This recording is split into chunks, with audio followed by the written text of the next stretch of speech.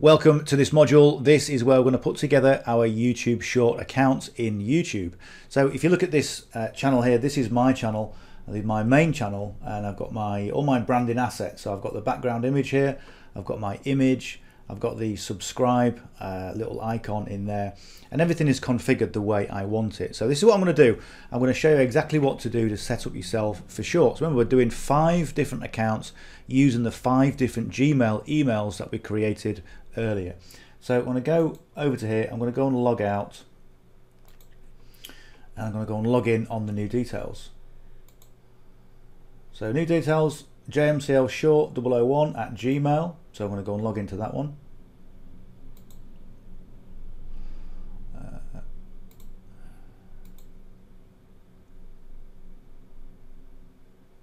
okay, so we're logged in. So what we need to do, go up to the icon at the top and go to where it says YouTube Studio. Click on there. I'm going to get, go and set everything up right now. Okay, so click on continue. Right, so the first thing we need to do is go to where it says customization. Okay, I'm going to click on that and we're going to go to branding. First thing we need is we need an, uh, an image to upload. One of the good things about this is that you use your desktop, okay, and all my assets are on my desktop, so it makes it easier for me. Okay, so we're going to go and upload an image. So there are several ways you can do an image. Let me show you this. Let me just show you my my actual assets. Okay, these are my these are my assets I'm going to use whenever you're uploading an image of yourself for social media, okay, make sure it's fairly close up. Don't have an image that's a long way away because people resonate with faces, okay. Um, that is just something that is, is developed with social media and people just love faces, okay. So what you want is a fa- is is a picture of yourself, and ideally get something where you remove the background. Okay, and there are two ways you can do this. I'm going to show you two different methods. Number one is my preferred method, which is using Photoshop, and number two is using different software. We're going to use different software for that. So if you look at my, if I go and just put that back on there.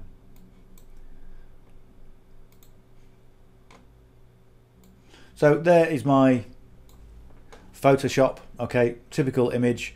And if you use Photoshop, you're going to know exactly what to do uh, to remove the background. Okay, one of the one of the things that I do use, okay, which is quite good, is something called remove background, remove.bg. And what you need to ensure is if you're going to remove a background, make sure the back. Look at my background here; it's got everything on it. It's like a it's like a Chinese takeaway. It's got, it's got all sorts of information. And if you try and upload something to remove BG, it's not going to do a particularly good job. So this is why you need something like Photoshop or, or some other thing that you are familiar with.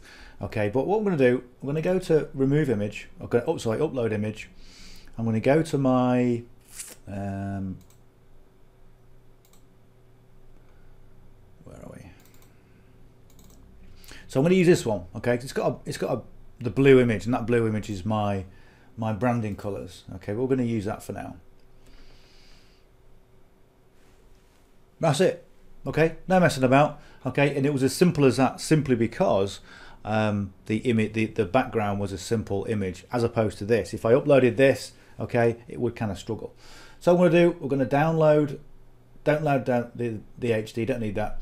Okay, just download and we'll put it into that. Okay, remove BG preview we'll save it. We'll come back to our custom art or customization. We'll go to upload and we'll upload that particular image. Remember, if you're okay, that's it. If you're going to do it in Photoshop, make sure you save it as a PNG. Okay, and that that will save you. That'll that'll keep the transparency. So banner image, that's the next thing we need to do. Okay, so we need to make sure the banner image is 2048 by 1152. Okay, now again, what I what I do with this, um, the way I did mine.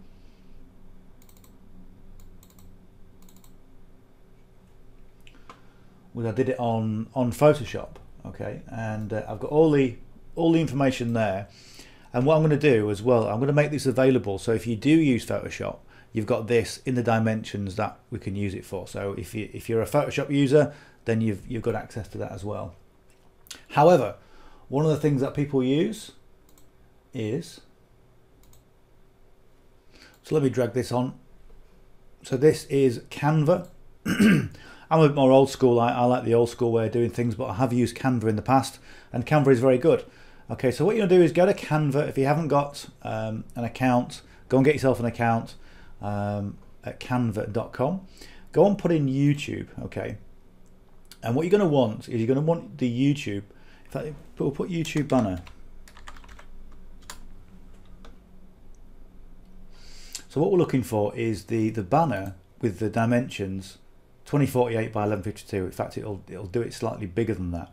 Okay. Um, so what we're going to be doing is scrolling to something that we want.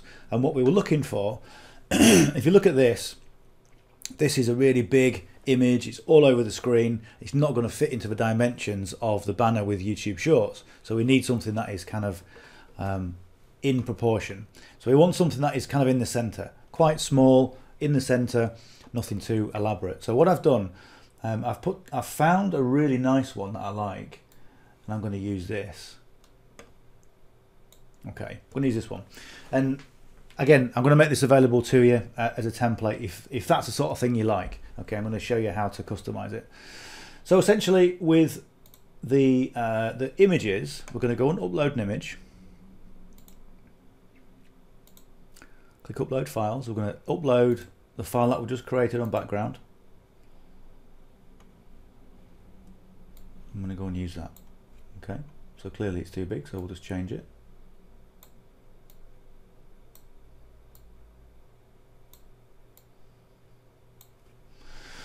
All right, next thing we need to do is we need to go and change this font, this text in the font as well. So I'm going to stretch it all the way across.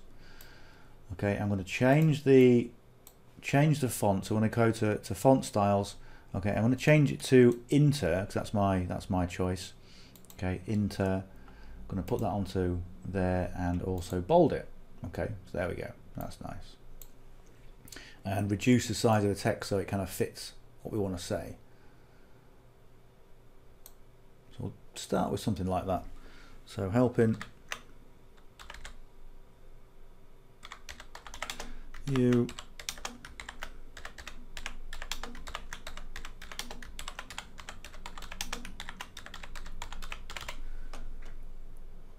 still a little bit big.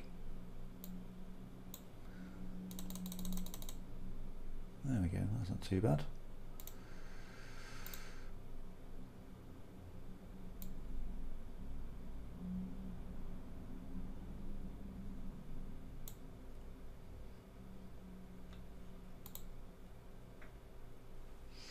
Uh, do we want these? Do we want this No, I'll get rid of these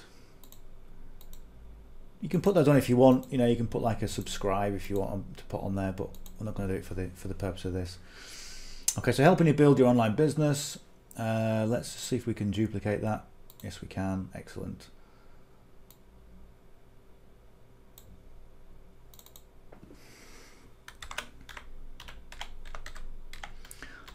Practical um, coaching.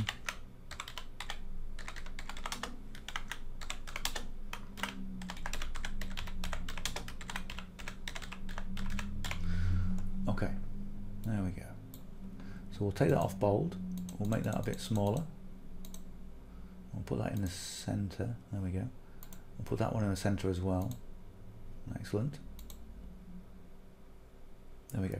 So whenever you've got um, anything like this, what you want to be doing is also, if you look at the position of my of my face, it's in the wrong position. It's facing away from something. So whenever you do anything in marketing, you either want to be looking at what you want people to look at or pointing to it. Okay, so that's why people used to do a lot of pointing things. So all I'm going to do, I'm going to click on there. I'm going to go to flip and flip horizontal. There we go. Okay, and maybe the positioning could just do with being a bit better. There we go. That's not too bad.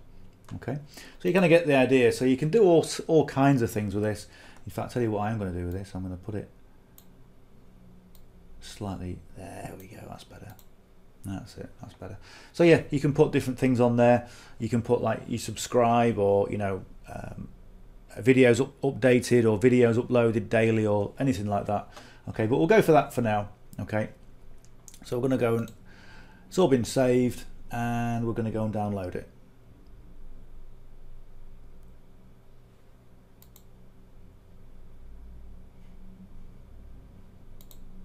So we just click on click on share click on download. Uh, we're going to download it to PNG. Uh, we're going to download there. So when that's downloaded, we're going to put it in the same file as all the other files so we know where they are. Here it is, looks the same one, excellent. Okay, save. Now what we're going to do, we're going to go back to our YouTube and we're going to go and upload it and see if it works. Okay, because it, it may or may not fit. So we've got viewable, viewable on all devices, viewable on desktop, viewable on TV. Okay, now that's that works a treat. It's absolutely in line with with what we want to be doing. So whenever somebody views that on a phone or a desktop or wherever they can view it, they're going to be able to see all the information. Um, in fact, what we could do, we could even put my my face a little bit further along. Okay, put this text somewhere else and put just put add some other assets in there. But that for now, that's good. We're going to go with that. Okay, going to click done. We like it. Okay, the next thing, as I've shown you, we've got the video watermark, which comes up and you can have this in wherever you want it okay, in your video. So we're going to go and click on upload. And this is what I've got there. We've got this subscribe, this subscribe link there. I'm going to open that. I'm going to click on done, that's all right. And that's what you get at the bottom there. So we're going to use that. So we can either have it at the end of the video, so it shows up at the end to get people to subscribe, um, a custom start time or the entire video. What I tend to do is I tend to have it on the entire video. All right, so we're going to uh, use that and we're going to go and click on publish. Okay, so once we've got all the branding assets done, now what we need to do, we need to go back to where it says basic info. And this is where we're going to put a lot of the information to get found on the search engines or certainly to get found in YouTube. First thing you want to do, make sure your name is your name. So make sure it's branded to you in the way that I've shown you in the previous modules. On the handle, okay, you can change this to whatever you want. I mean, really, in terms of what we're doing, we're going to get found. We're not really um, using this as our main channel. Our main channel is what we want for the main handle. So you can you can maybe work on this, maybe think about something that's you know cool for you, maybe John McLauchlan Shorts or or affiliate marketing or whatever you want to put in there, but just make it you know short and to the point. Next thing is to add the description. So in terms of a description, what I've done I've put a description together and it's a basic description, but essentially what you want to be doing is you want to be adding in those keywords. So remember doing a bit of keyword research, finding out what people are looking for in terms of what we're doing. And what we're doing with this channel is affiliate marketing. Um, so we've got a little bit of a, a spiel here and then obviously what you'll find on my channel and then what I've got in there is, is certain keywords that are, you know, are going to get found.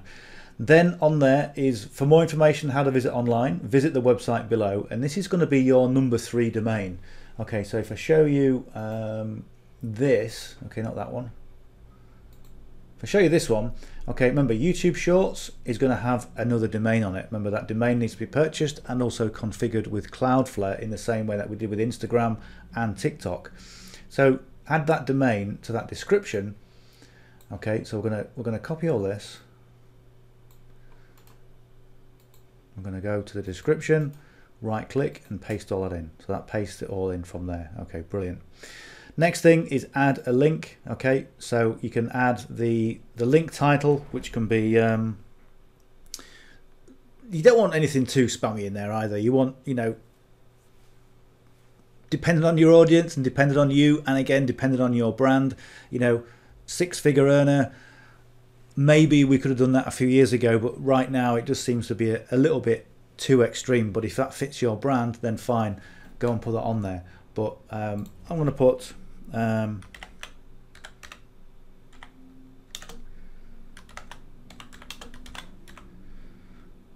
and it depends where you've configured it as well. So let's say um, we've configured it to go to the HBA sales page again, we want to make it congruent. So we want to make this link title congruent with what they're going to see. So what they're going to see is a video from Paul talking about HBA um, in this case. So um, click for free,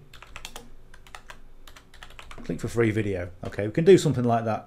And then the, the URL that we're going to put in there is the URL that we're going to configure with YouTube, as I've just mentioned. And again, it, it needs configuring with, um, with Cloudflare.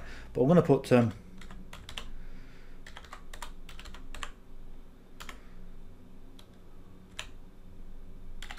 We'll put that in for now. okay and we could put our email address in there if we want to but I don't really think we want to because remember if we've got multiple accounts if we get people you know sending us emails we, we won't reply and obviously people are going to think we're not interested. So we'll leave that off okay and then we'll click on publish.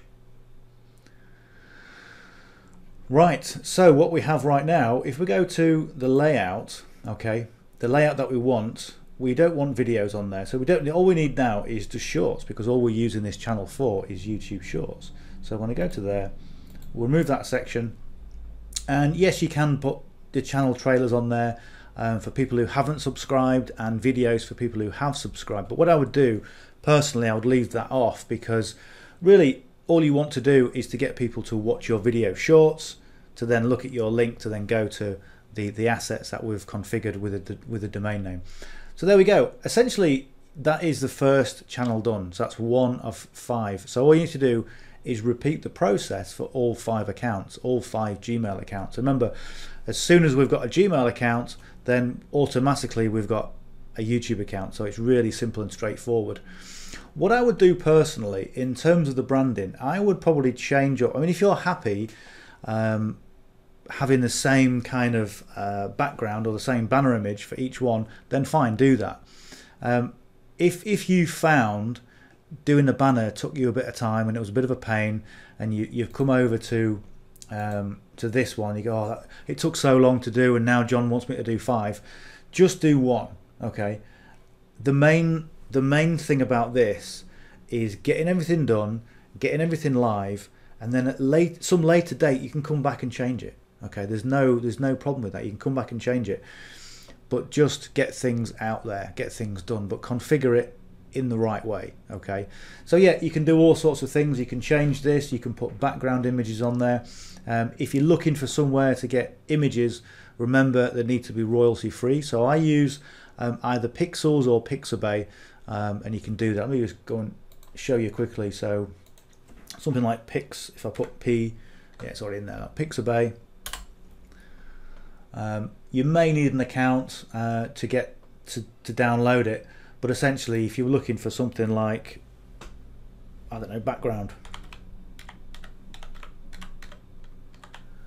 background image, okay, and again, you can scroll through these, you can use these, and this is what I definitely recommend. Never go on to something like Google Images and go, well, it's okay, it's going on Google. Okay, I'm going to download that. Never do that because, you know, you're going to, foot this is what I said previously about being either having ownership of everything that you do or using things that are licensed that you can actually legally use it. So make sure, for goodness sake, you can, you can legally use things because there's nothing worse than getting a, a, cease and desist or getting your accounts closed down for something so minor or what you think is so minor. So yeah, you can use any of these. Just just click any, click anything, download it. Okay, then you can upload it to um, your Canva and just experiment and just do whatever you want to do.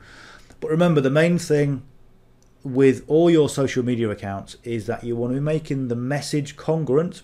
Okay, in the same way that I said about in the email uh, module everything wants to be congruent and everything wants to be streamlined. So your your clients your prospects the people that are looking at your videos have a nice clean experience and that's where we're going with it.